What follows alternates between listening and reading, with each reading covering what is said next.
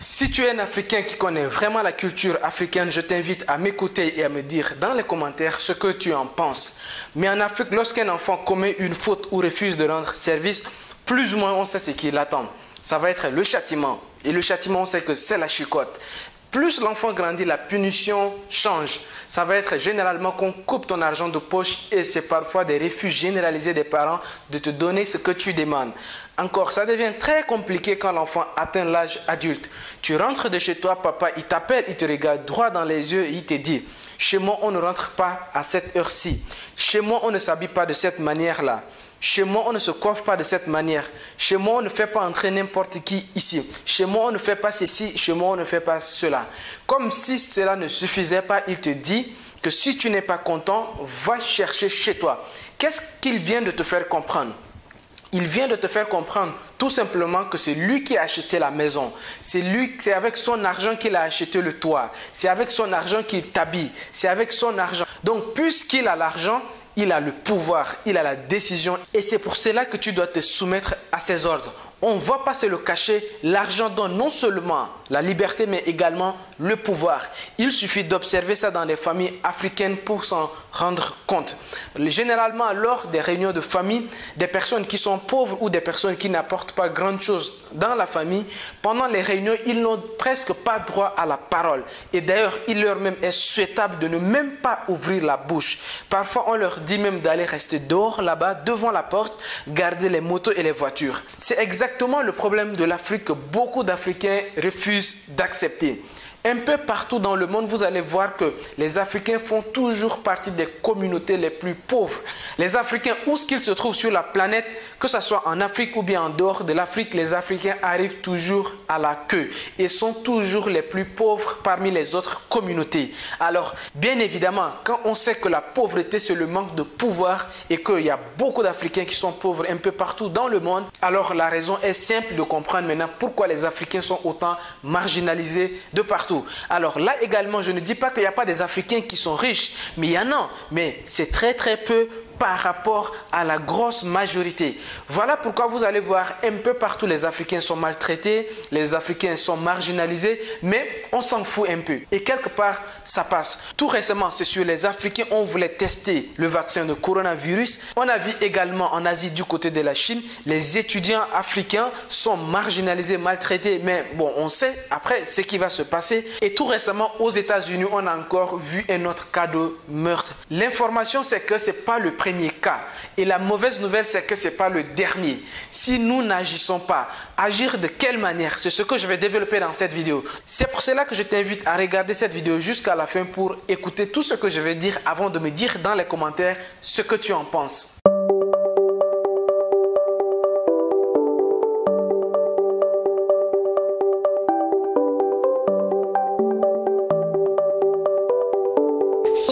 Découvrir dans cette vidéo, laissez-moi me présenter rapidement. Mon nom c'est Justin, j'ai 27 ans, je vis en Afrique, ça fait déjà un certain temps que je suis installé à Dakar au Sénégal. Le but de cette chaîne c'est de contribuer au développement de l'Afrique au travers des business et des investissements. Donc si la thématique de l'immobilier, de la bourse ou tout autre business te parle, je t'invite à faire deux actions.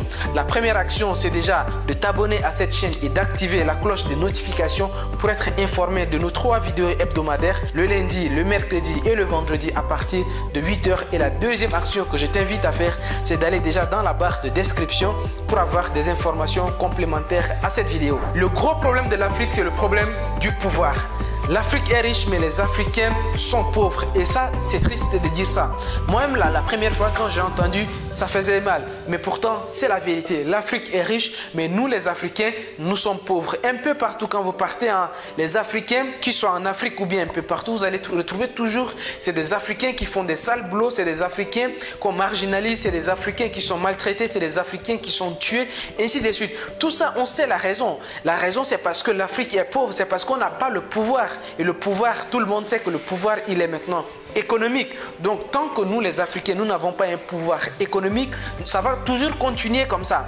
Voilà pourquoi dans cette vidéo, je vais citer quelques pistes d'action concrètes à mettre en place. D'abord, la solution que beaucoup de gens ont émise, moi je trouve que ce sont quand même des solutions, mais ce sont des solutions vraiment court-termistes. Ce sont des solutions qui ne vont pas durer sur le temps. La première solution qu'on voit un peu partout sur les réseaux sociaux et qui est une solution vraiment à court terme et d'ailleurs qui n'est même pas une solution, c'est de dire que œil pour œil, dent pour dent. Alors ça, bien évidemment, c'est quelque chose qui ne marche pas parce que on a vu quand les étudiants guinéens en Chine ont été maltraités, les Guinéens qui étaient à Conakry ont arrêté bon nombre de Chinois et, les ont menacés de torture et ainsi de suite. Bien sûr qu'on sait que ça, c'est pas une solution. La deuxième solution que beaucoup ont prôné un peu partout, c'est le boycott. Oui, d'accord, boycott, peut-être ça marche à court terme, mais pas à, long terme parce que ça, ce sont des solutions vraiment des solutions vite fait, mais ce ne sont pas des solutions qui vont durer dans le temps. La troisième solution, et que tout le monde s'attend, c'est que nos chefs d'État, que nos gouvernements et que ces gars-là De toute façon, on sait après ce qui va se passer. Mais de ces trois solutions-là, vous savez très bien que ce sont des solutions qui ont été déjà fait avant, ce sont des choses qui ont été faites mais qui n'ont pas marché.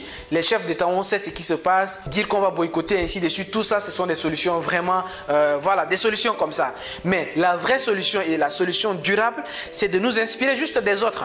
C'est de nous inspirer par exemple de ce qui a marché ailleurs. Juste pour vous rappeler, un peu avant, les Chinois étaient un peu comme les Africains. Les gens se moquaient des Chinois un peu partout. Il n'y a pas très longtemps, les Chinois avaient une mauvaise image. Les Chinois étaient des personnes que, même ici en Afrique, Beaucoup d'Africains insultaient même des Chinois, mais vous voyez que la tendance a totalement changé. Et c'est dû à quoi? C'est de ça que moi je veux parler. C'est de trouver une solution vraiment durable à long terme et que les Africains vont être vraiment respectés. Alors, la première étape de, de cette solution, c'est de prendre conscience que nous les Africains, nous sommes en retard. Oui, prendre conscience que nous les Africains, on est pauvres. Nous sommes un continent riche, mais nous-mêmes qui vivons sur le continent, nous sommes pauvres. Pourquoi Nous devons vraiment prendre conscience à ce niveau? Il y a une chose qui est très importante.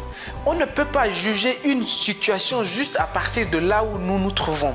Pour comprendre ça, il faut remonter au début du problème ou bien remonter à la genèse. Il faut soigner le mal à la racine plutôt que de chercher juste à changer les fruits.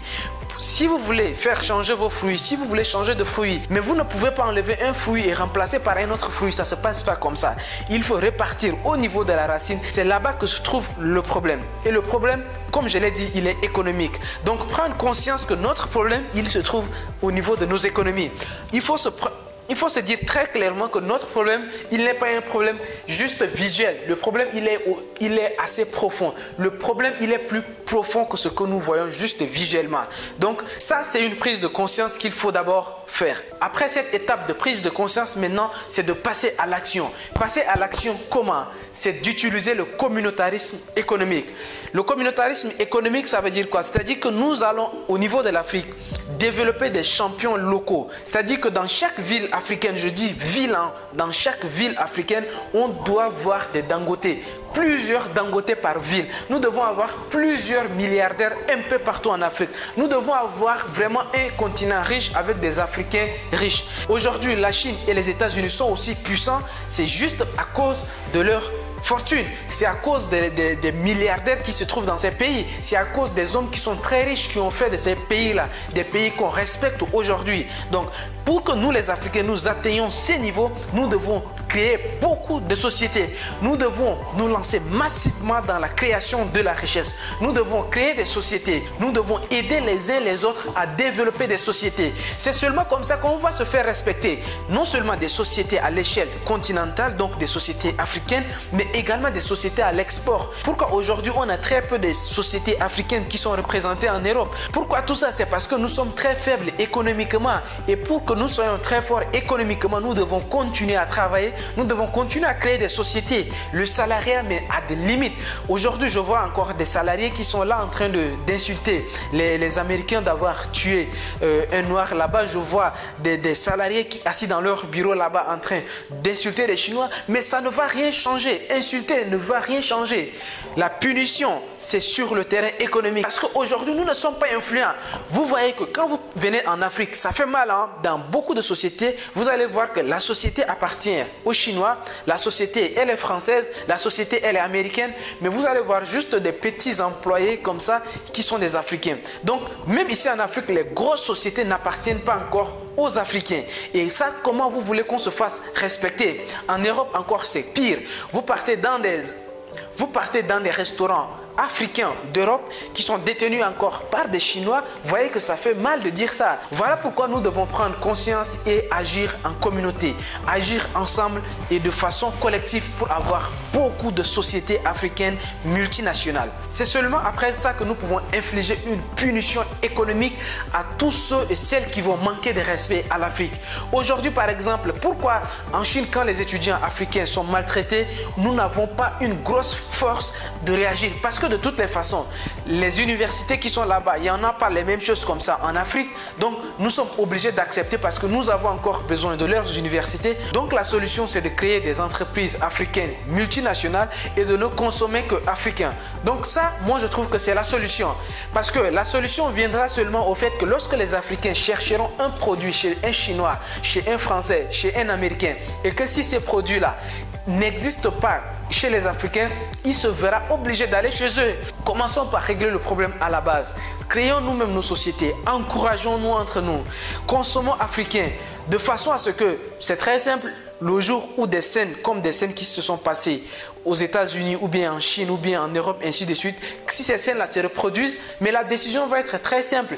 On va tout simplement les déloger parce que personne ne va aller dans les entreprises françaises, personne ne va aller dans des banques françaises, personne ne va aller dans des banques chinoises. Nous n'aurons plus besoin d'eux parce que nous avons nous-mêmes. Mais tant que nous-mêmes, nous n'avons pas ce que nous avons besoin des autres, mais c'est exactement le cas de, des enfants que les parents leur punissent. Aujourd'hui, si quelqu'un n'arrive pas à se prendre en charge, il sera toujours un enfant à 30 ans, à 40 ans, il est toujours un enfant parce qu'il dépend de quelqu'un.